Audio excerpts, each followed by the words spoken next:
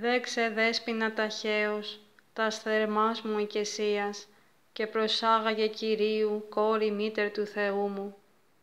Σχέδασον δε τας ενέδρας και το θράσος του εχθρού μου, και της υψηλής σου δείξον άξιό με προστασίας. Λύσον συν τας περιστάσεις των εισέ καταφευγόντων, αποδίωξον τα στήφη των εμέ καταθλιβόντων. Συ απο, αφόπλησον παρθένε, δυσμενείς μη πολεμίους και αλάστορας εχθρούς μου, επιβούλους και δολίους. Την κατώδυνον ψυχή μου, εκ πληγών και εκ τραυμάτων,